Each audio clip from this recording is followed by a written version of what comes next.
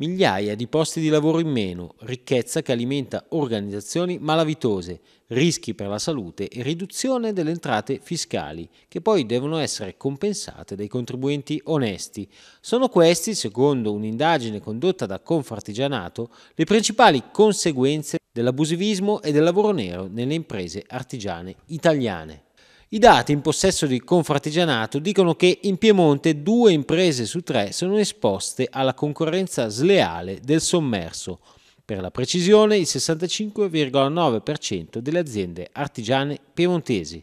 A livello nazionale sono infatti 3.724.000 le unità di lavoro equivalenti non regolari, occupate in prevalenza per 7 casi su 10 come dipendenti e i restanti come lavoratori autonomi.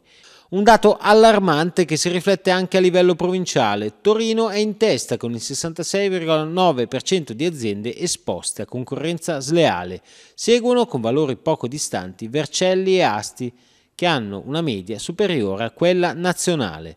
Verbania, Novara e Biella si posizionano, seppur di poco, al di sotto della media nazionale, che è del 64,7%.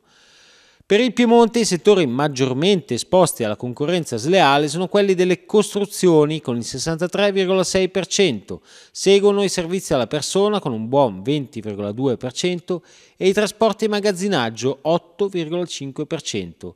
La percentuale scende per i servizi di alloggio e ristorazione 4,4, i servizi di informazione e comunicazione 1,4. Scarsa invece è l'esposizione nei settori agricoli della fabbricazione dei mezzi di trasporto, dell'istruzione, della fabbricazione di prodotti chimici e dell'industria estrattiva che chiude la classifica dell'esposizione a concorrenza sleale con lo 0,1% dei casi.